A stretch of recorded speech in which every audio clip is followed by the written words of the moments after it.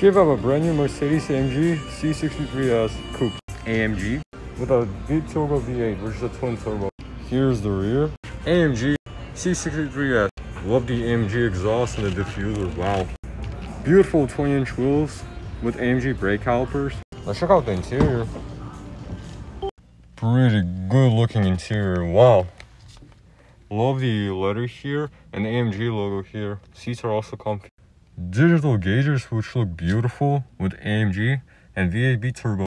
Squared off bottom on the steering wheel with AMG logo. Looks pretty good. And some modules here. Also paddle shifters. Auto screen, air conditioning, and volume controls. IWC Schaffhausen clock. Pretty nice. Wood trim, which personally I would have liked carbon full more, so I would have to zong that. Seat controls on the door. That cover has an AMG logo here too. Really glad to review this beast.